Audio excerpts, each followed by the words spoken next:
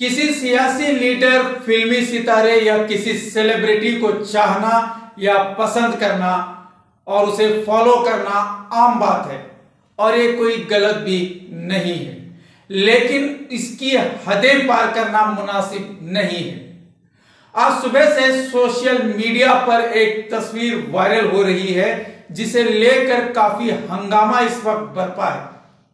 तस्वीर में काबे के सामने एक शख्स कांग्रेस के KPCC working president Satish Jarkiholi का पोस्टर ले खड़ा है, जिसमें तस्वीर के साथ यह लिखा गया है कि कर्नाटक के अगले सीएम सतीश जारकिहोली बनेंगे। अब यह तस्वीर सच्ची है या एडिटेड है, इस पर भी इस वक्त बहस जारी है। लेकिन जहाँ तक हमने मुआयना किया है, उसके मुताबिक तस्वीर एडिटेड है। यानी एडिट की गई है। लेकिन सवाल यह है कि आखिर ऐसी तस्वीर क्यों और किसने बनाई? क्योंकि किसी की चाहत के नाम पर काबे की बेहुरमती का भी ख्याल नहीं रखा जाना अफसोसनाक है। किसी भी किस्म की तस्वीर हरम शरीफ के साथ एडिट करना कहाँ तक दुरुस्त है? आप किसी को सीएम बनाना चाहते हैं तो ज़रूर बनाएँ। उसके लिए दुआ भी मांगे, लेकिन इस तरह की हरकतें नामुनासिब हैं। ये मुसलमानों के जज्बात को मजरू करने वाली हरकत है, और अफसोस के इसे हमारे नौजवान बेसाख्ता मुख्तलिफ़ ग्रुप्स में शेयर किए जा रहे हैं। इस मामले को लेकर उलमाकराम ने अपने ख्यालात का इजहार किया है और इसकी मजम्मत की है। जो सवाल किए हैं, अवलन तो किसी फ़ोटो या तस्वीर को खाना काबा के सामने रखकर तैयार करना और फिर उसको वायरल करना। तो इस सिलसिले में इस्लामी नुक़ नज़र हम सब मुसलमानों को मालूम है कि काबा का तकदस काबा की अजमत। यकीनन, इन छोटे मोटे सियासी अगराज से बहुत बुलंदोबाला है। और कतन किसी मुसलमान को इस बात की इजाज़त नहीं होगी कि अपने सियासी या दुनियावी मकासद के खातिर खान काबा को या खान काबा के तकदस को उसके लिए इस्तेमाल करें। और जहाँ तक इस तरह की चीज़ों को वायरल करना एक आम बीमारी और वबा है। हालाँकि अल्लाह के पैगंबर सलाम ने फरमाया कि इंसान के झूठे होने के लिए इतना ही काफ़ी है कि जो कुछ वो सुने, वो दूसरों के सामने बयान कर दे। तो इन वायरल करने वाले या फैलाने वाले लोगों को भी सोचना चाहिए कि काबा का तकदस यकीनन ऐसी तस्वीर के मुनाफी है और हमारे लिए कतान ये जायज़ और रवा नहीं है कि अपने सियासी मकसद के खातिर इन इस तरह की हरकतों को अंजाम दे, दें, है ना? जो हमारी अजमत काबा और तकदस काबा के ख़िलाफ़ है।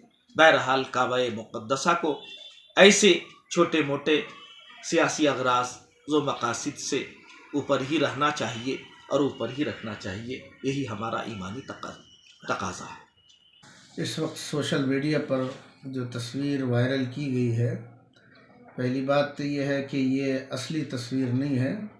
ये एडिटेड है, जो उसको एडिट किया गया है।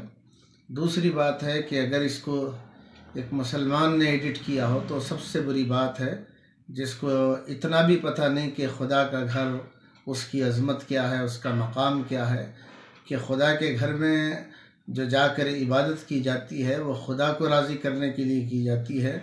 लेकिन अगर ये काम किसी मुसलमान ने किया है तो ये उस मुसलमान को तोबा भी करना चाहिए और ये सोचना चाहिए कि मैंने बहुत बड़ा गुनाह का काम किया है क्योंकि खुदा के घर के साथ आ, किसी की तस्वीर जोड़ी गई और साथ में उसके लिए उसकी हकानियत की गोया दलील पेश की जा रही है। ये इस्लाम हमें नहीं सिखाता है। इस्लाम खुदा के घर जाएँ हम, या रसूल अल्लाह के रोज़े पर जाएँ। अल्लाह रसूल को राज़ी करने के लिए हमें काम करना है। तो ये बड़ी दुख की बात है। हम खसूस नौजवानों से भी अपील करते हैं कि इस तरह के लोग अगर कहीं मिलें तो इनके ख़िलाफ़ एफ़ आई होना चाहिए और आवाज़ उठनी चाहिए। कि खुदा के घर का इस्तेमाल, चाहे वो तस्वीर की शक्ल में क्यों ना हो, वो गलत है। अगर आज यहाँ इस तरीके से काम किया जा रहा है, जो बनावटी तस्वीर बनाई जा रही है, हो सकता है हमारे सियासतदान किसी को बैतुल्ला भेज भी दें।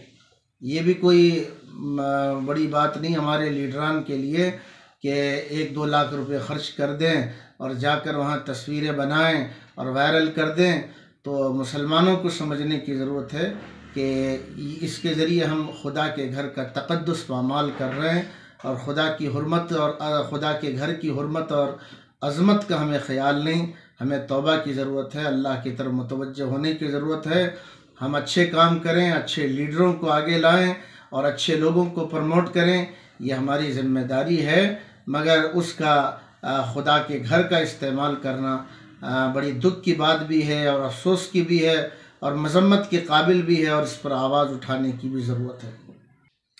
वहीं कारपोरेटर अजीम पटवेगर ने अपने ख्याल का इजहार करते हुए कहा कि तस्वीर और सतीश जारकेवली का कोई ताल्लुक नहीं है। यह किसकी तरफ़ से वायरल की गई है उसके लिए वही जिम्मेदार है। एक तस्वीर वायरल हुई है। काबा के सामने कोई शख्स एक तस्वीर लेके खड़ा है कि नेक्स्ट सीएम सतीश जारकीहोली के नाम से। तो इस तरह से काबा के सामने एक तस्वीर को वायरल करना कहाँ तक? भले ही वो एडिटेड है इस पर आप क्या कहेंगे? देखिए ये जो भी किया है उसे पूछना चाहिए। और ये जो सतीश जारकीहोली साहब को इसे कुछ भी संबंध नहीं है। जिसने भी किया है उसकी इंक्वायरी करके कौन किया क्या क्या है वो पूछना चाहिए। उससे कोई भी जो है कहीं भी जा करके ये सोशल मीडिया पे करते रहता है। हम्म। मगर मैं समझता हूँ कि इस तरह के एडिटेड फ़ोटो डालना ठीक नहीं है। नहीं मुसलमानों के जज्बात काबा शरीफ के साथ जुड़े हुए रहते हैं। आस्था का मामला है। तो इस जगह पे करना कहाँ तक मुनासिब है सही देखिए जिसने भी किया है। उसे पूछना चाहिए। आप मुझे पूछेंगे वो कौन है मैं जानता भी नहीं हूँ उसे पूछना चाहिए। वही समाजी खिदमतगार फजल खान पठान ने कहा कि इस तरह की तस्वीर वायरल करने वाले पर सख्त कार्रवाई होनी चाहिए। आज जिस तरह से एक तस्वीर वायरल की गई है काबे शरीफ के सामने खड़े होकर एक शख्स ने जो है तस्वीर वायरल की है। सोशल मीडिया पर सुबह से तस्वीर वायरल हो रही है। इसको लेकर काफ़ी हंगामा चला है। तो आप इस मामले को लेकर क्या कहना चाहते हैं? आज जो सुबह से जो तस्वीर वायरल हो रही है, सतीश जारकीहोली साहब की, जो काबतुल्ला के अंदर एक शख्स लेकर ठहरा है, हो सकता है वो एडिट भी हुई होगी। मगर जो है, हम सतीश जारकीहोली साहब को जो है एक अच्छा मंजा हुआ लीडर समझते हैं और अपने सियासी पॉलिटिकल कैरियर में बहुत अच्छा गिरिप रखते हैं। और हम भी चाहते हैं कि हमारे डिस्ट्रिक्ट बेलगाम डिस्ट्रिक्ट का जो है, एक लीडर सीएम बने और हम भी उनके लिए इंशाल्लाह दुआ करेंगे। मगर जो है, ये जो हरकत हुई है, ये बहुत नाकाबिल बर्दाश्त की जो है, ये हरकत हुई है। जिसने भी किया है ये हो सकता है जारकीहोली साहब को इसका नॉलेज नहीं रहेगा, अंदाज़ा मालूम नहीं रहेंगी। मगर जिसने भी किया है, उससे जो है, सारे उलमा कराम में जो है, एक खलबली मची हुई है कि इस तरह से काबे की हरमती करके जो है, इतना भी लोग दीवानों के जैसा चाहने वाले लोग हैं मुल्क के। तो एक सियासती, एक मोहब्बत अपनी जगह काबतुल्ला जो है, जिसे अल्लाह का घर कहते हैं, जिस के सामने सारी दुनिया झुकती है, उस जगह तस्वीर लगाकर जो है, इस तरह से मोहब्बत ज़ाहिर करना ये गलत है ये। तो इसके लिए मैं जो चाह रहा हूँ और मेरे साथ जो है, सारी कमेटियाँ हैं बेलगाम की और जो है, सारे उलमा कराम भी जो है, इस वक्त यही कह रहे हैं कि जो भी किया है, उसके ऊपर जो है, कानूनी कार्रवाई होना चाहिए, साइबर क्राइम में उस पर कंप्लेंट करना चाहिए। ये जो है, अगर करेंगे तो आने वाले आइंदा में जो है ऐसी हरकत ना करे। इसके लिए जो है, हम जो है, ये कार्रवाई करने वाले हैं इंशाल्लाह खैर नाजरीन, किसकी, किसी की चाहत में हदें पार करना मुनासिब नहीं है। और इस तरह झूठी तस्वीरें वायरल कर मजहबी जज्बात को मजरूक करना अफसोसनाक है। किसी के चाहत के नाम पर अगर मुसलमान खुद काबे की बेहरमती करने पर उतर आए तो इससे बड़ी अफसोस की बात और क्या हो सकती है? वैसे भी सियासत के नाम पर अक्सर गिरी हुई हरकतें देखी जा रही हैं, लेकिन आज की इस हरकत ने तो मानो इंतहा कर दी है। आज की खास रिपोर्ट में इतना ही, देखते रहें एस इंडिया